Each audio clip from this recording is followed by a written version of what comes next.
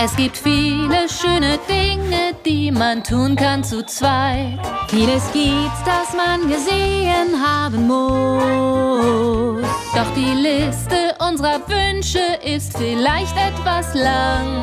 Besser wär's, wir kämen langsam zum Schluss. Vielleicht wird es ja besser irgendwann. Ein heller Morgen folgt auf dunkle Nacht.